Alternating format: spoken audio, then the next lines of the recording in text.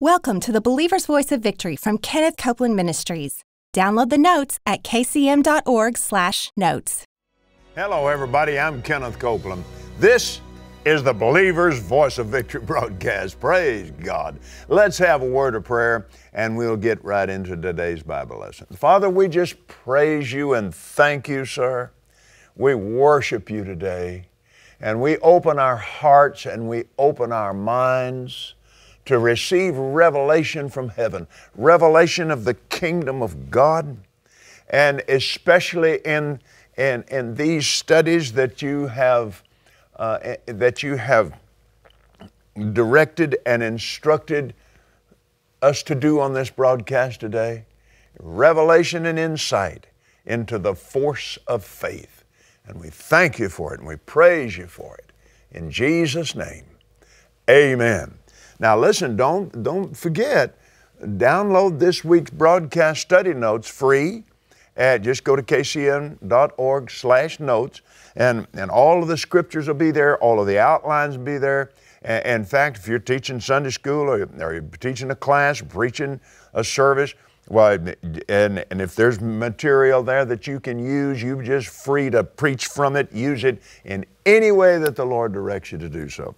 Let's open our Bibles today to Romans chapter 3. We're going to be studying the force of faith uh, for some time now. Well, until the Lord says to change. This is what we're going to be looking at. So now let's let's look in uh, the the third chapter of the book of Romans. Where is uh, this is the 27th verse? Where is boasting then? It is excluded. By what law? Of works? No. But by the law of faith.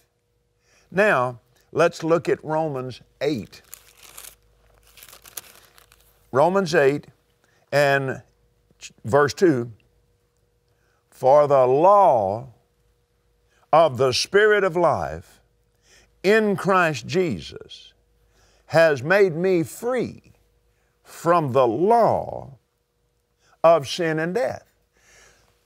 We need to understand and realize that this, this, this actually is the base of all spiritual understanding. Because people have had the idea that the spiritual world is just, you know, well, you just never know what God's going to do. I just, well, you never know. I don't know why that happened. I don't know why that didn't happen. No, no, no. The, the spiritual realm is highly regulated by laws, spiritual laws, that govern everything. The reason we have natural laws, I'm talking about the, the like the law of gravity, the, the laws of physics. The reason we have these laws is because the spiritual laws of heaven created all natural things. And the, the, the natural laws of physics literally mirror the spiritual laws that created them. And let me give you an example here because this shows um, two different ways of thinking. And our thinking must be renewed in the. Uh, do you hear me say must? The, our thinking must be renewed. Let, let's take, for instance, well, let's take the law of gravity. I enjoy long range shooting. And uh, where I have a, a, a, rifle that I really do enjoy. And uh, here, you, here you have this uh, a scope that it, it's a, a scope that has a bullet drop compensator. Now, why would you have to have something like that? Well, the, when a bullet comes out of the barrel, it has a little, uh, it, it's running so fast when it, it has a little, little lift to it, and then it comes back down and it begins to drop. Why is it doing that, you say, Brother Copeland? I'm glad you asked. It, it is doing that because gravity is working on that bullet. And eventually, someplace out there, it's going to hit the ground.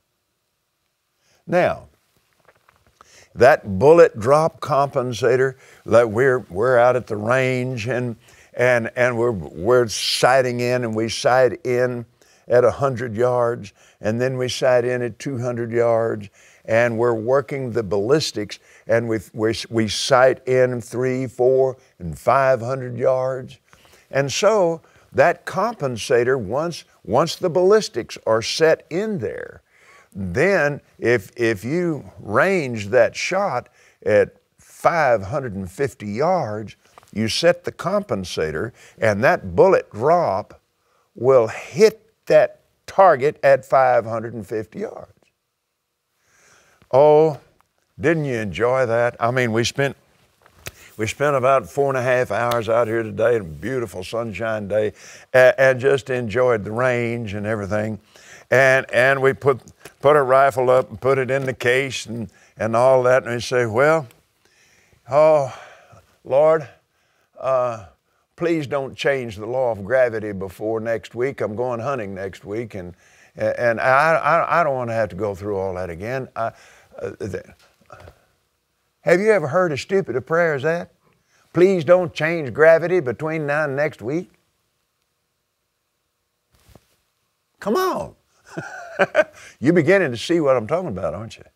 Now, what's happening here, the only thing that can change now between today and next week is the wind and the temperature. Gravity is not going to change. If I have that scope set up right, it's going to hit every time in the same place. It can only be affected by something that is changeable, which would be the temperature, the wind, or me. but gravity is going to be the same next week, the week after that, and the week after that. Now, an airplane would have flown in 1816 the same as 2016. Why? All of the laws were the same. The problem was only the birds knew what the law of lift was all about. But as, as people began to study the birds and they began to study the laws of physics, that work with and supersede gravity so that through the laws of lift, you could get that airplane off the ground. Now then, when we realize that this is what we're dealing with here, we're dealing with spiritual laws. There's no such thing as the faith of God not working. There's no such thing as the Word of God not working. Well, Brother Copeland, I mean, I tried that faith and it didn't work. No, uh, no, darling, let me tell you something. Now, let me help you with that. it tried you, or it tried me. We didn't work. We misapplied the laws, or through ignorance of those laws. For example, I, I mean, when I first, uh, I, I first accepted the Lord as my Savior, now I was raised in a Christian home. But I, I, I turned away from it when I was a, uh, just a young boy, and I came back uh, in 1962 and made Jesus the Lord of our life. Gloria and I, and I had been uh, married six months, and both of us got saved within two weeks of one another. Well, I had heard things like, you know, it, it what, what faith comes from uh, traumatic experiences and, and, and hard times, you know, the trying of your, uh, uh, of your faith builds faith and, and causes faith to come. That's just simply not true. That's like going into the, uh, you, have, you, have you ever seen those goofy pictures about uh, old, old old movies that were taken way back there years and years ago, and this stuff that people were trying to do to get off of the ground. But you finally had um, Orville Wilbur Wright that studied the laws, the, the laws of physics, and they finally discovered one step at a time how to use those laws to their advantage and finally got that airplane off the ground. It finally did it, and the same laws that flew that little and that, that, that little fabric covered thing back there all those years ago are the same laws that flies the Citation 10 or the 747 today. And I enjoy operating inside the boundaries of those laws. I just dearly enjoy putting the power up on those engines. What am I doing? I'm creating thrust. That's part of the law of lift and then enough speed comes over those wings and it gets to the place where the pressure is is at the place where that wing is designed to fly. And I'm going to tell you, there's just something about it. Glory to God. Amen. So, but when you when you don't know the laws of faith, see what I said a while ago is just simply not true. That faith does not come from traumatic experiences. The trying of your faith does not, it, it does not cause faith to come. That you go back to the Word, faith cometh by hearing, and hearing by the Word of God. That's what the manual says about the faith of God. That's the way it works.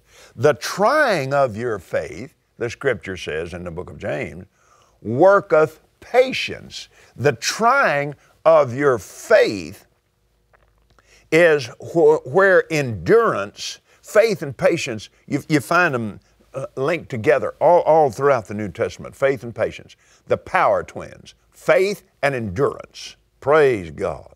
That's part of the laws of faith you put those laws into operation correctly, they work.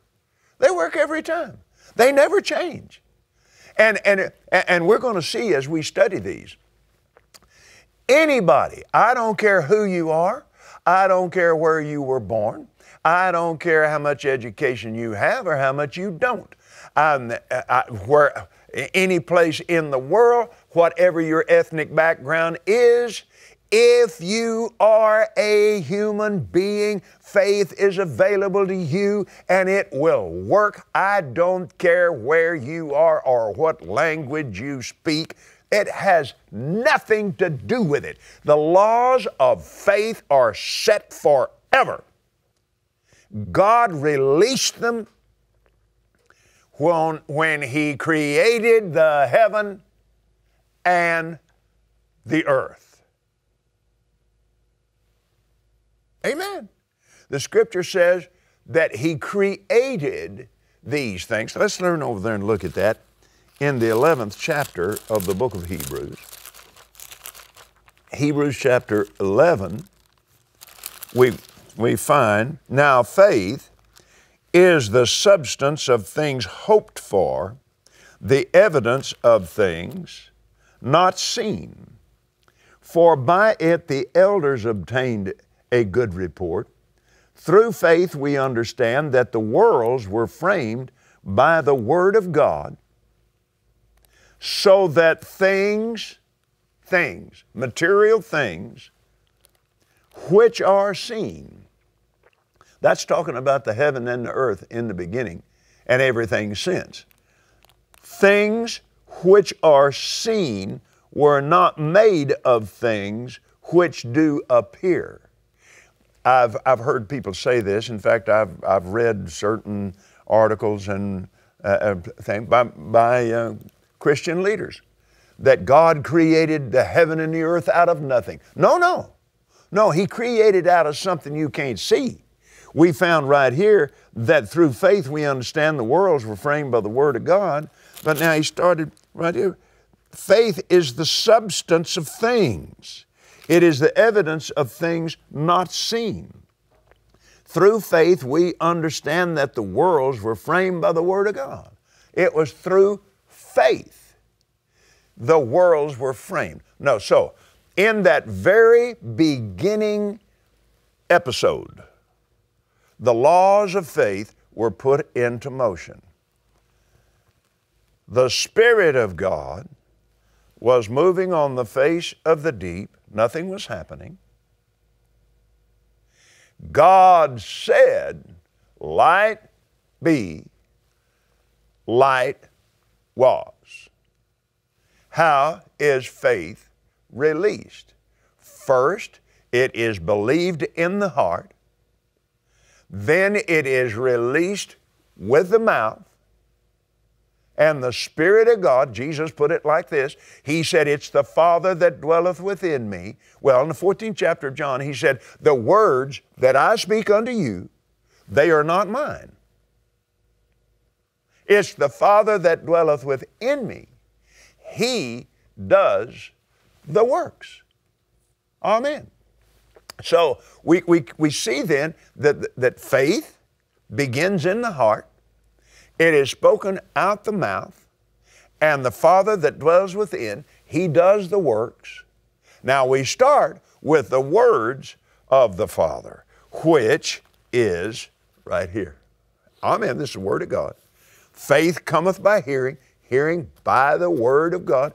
His Word, God has spoken out His mouth aloud every word from Genesis to Revelation. He spoke these words making covenant.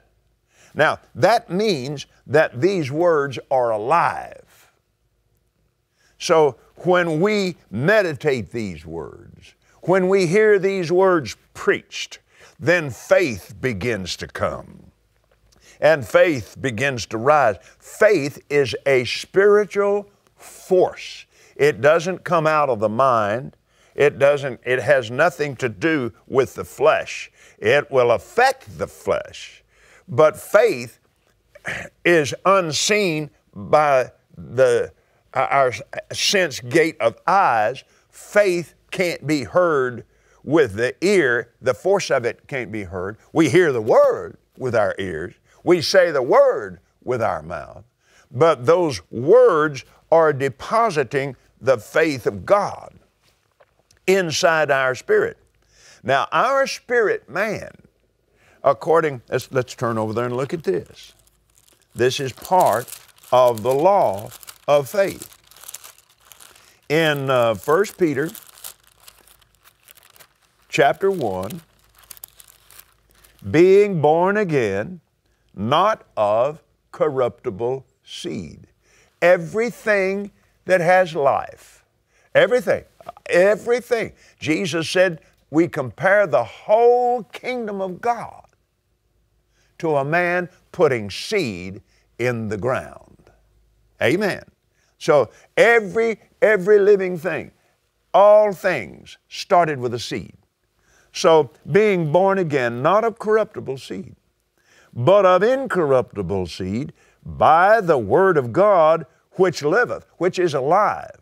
The Word is alive and sharper than any two edged sword.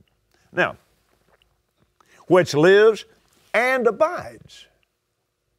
Once it's there, it's there forever.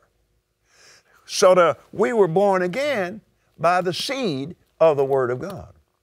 Now that's this seed, God spoke words to Abram made blood covenant with him. He became Ab- Abraham. His name and God's name were made one together, from Abram to Abraham. Now, God spoke that to him, but the scripture said he was speaking to Jesus. And the Word became flesh and dwelt among us. Those words that God spoke to Abraham made covenant. Those were embodied in the message that Gabriel brought to little Mary. And he spoke those word seeds to her. Now, the Word of God is every cell of the human body. All, all those little cells, all doing their thing all over your body and every different part of you. You can take one cell, and in that one cell is your complete DNA. One word from God change your life forever. Why? Because His entire spiritual DNA, everything He is, everything He has, and everything He knows, is in one of His words. And He spoke words through Gabriel to little Mary, and she received them. She said, Be it done unto me, sir, as you have spoken. Those words went into her womb, and she pondered them in her heart. And, and Gabriel told her what would happen. The Holy Spirit hovered over her, and a holy thing was born in her, and the Word became flesh and dwelt among us. Now, the same Word of God, the New Testament Word of God, the day you received it and believed in your heart that God raised Jesus from the dead, and you with the mouth confession was made unto salvation. The Spirit of God hovered over you, and in you was conceived a holy creation with the complete DNA of God in your spirit. His faith is in there, His righteousness is in there, and greater is He that's in you than He that's in the world. And we're out of time. Glory to God. I'll be back in just a moment. We hope you enjoyed today's teaching from Kenneth Copeland Ministries. Be sure to get the notes at kcm.org/notes. And remember, Jesus is Lord.